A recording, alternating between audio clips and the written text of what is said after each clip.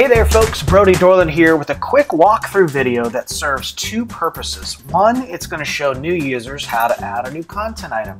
And two, I want to demonstrate a recent improvement that went live that will save you a few clicks in this entire process. Okay, so Divvy users can add new content items in one of two ways, either by clicking the plus icon in the header and selecting content item, or by hovering over a specific day in the calendar and clicking add new item. When either of those are clicked, we get a simple pop-up form that allows us to quickly get the basic details of a new content item added. Now, in many cases, you're probably going to want to add more details to this content item, like adding deadlines or tagging this content piece with its relevant metadata. This is where our recent improvement comes in.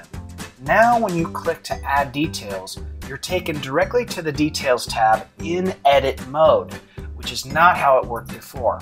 So this definitely saves a few clicks and we definitely appreciate the many users who suggested this improvement. Obviously we want to hear from you too, so leave us a comment or give this video a thumbs up. We will continue to make improvements on the platform and kick out quick tip videos like this. Thanks for watching and happy divvying!